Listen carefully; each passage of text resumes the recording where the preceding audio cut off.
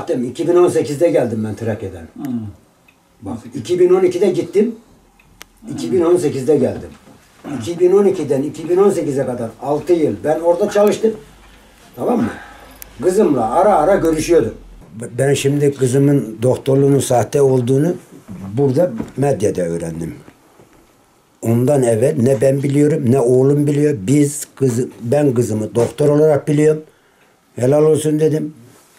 Gurur duyarım dedim. Gurur da duydum. Ama sahteliğinden hiç haberimiz yok. İşin olayın sahteliğinden haberimiz yok. Ben bin kilometre bu yandayım. O bin kilometre benden uzakta. 2012'de ben buradan göçtüm oraya gittim. Kumbağa'da tuğla fabrikasında kil çekiyordum. 6 sene kaldım bak.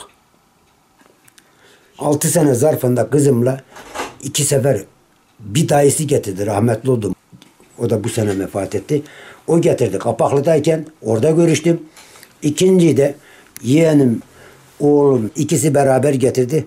Kumbağa'da deniz kenarında denize plaja geldiler.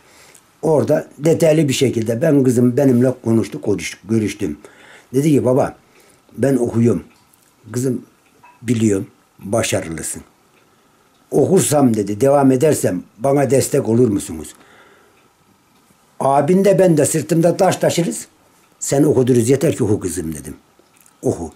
Kendini kurtar. Kendini kurtar dedim. Benim dediğim bu.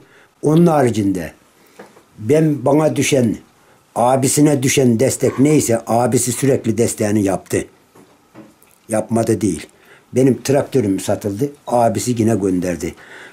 Üniversite şey tıp kitabı mıdır? Nedir o kitaplar varmış. 11 bin lira, 12 bin lira mı? Giden sene mi? Evvelki sene. O civarda rakam tutan bir traktör parasıydı ya. Bunları verdik. Oğlum çalıştı. Kumbağa'da çalıştığım zaman zarfında gene para sürekli parasını aktardı abisi. Kamyonumda satıldı. Kamyonumdan da verdi oğlum. Traktörümden de verdi oğlum. Parasız bırakmadı onu. Hiçbir zaman. Bağda kopmadı. Telefonlaştılar sürekli. Görüştüler. E, 2018'de geldim ben. 2018'den geldikten sonra ikiden sene benim oğlum yine gitti yanına. Doktor çıkınca doktor çıktı dedi. Hatta benim yanımda aradı bacısı. Abi böyle böyle.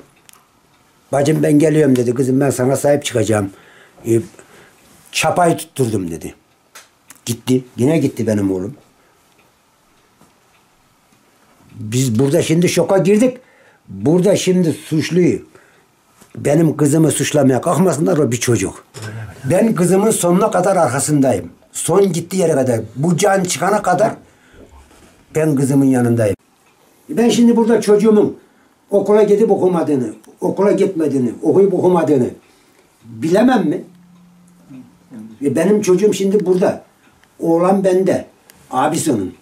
O ne iş yapıyor abi? Abi onun için canını veriyor. Abi, ya, abi hamallık yapıyor, çalışıyor. Abi de desteğini yapıyor. Hı. Oo.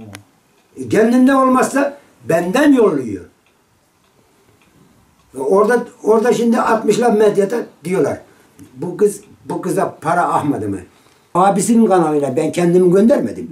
Abisi devreye girdi. Evet. E, abisi sevindi. Evet. Belgeyi aldı. Doktor çıktı diye. Evet. Siz hala doktor olduğunu zannediyorsunuz. E, biz doktor biliyoruz. Abisi de doktor biliyor. Evet. Oo.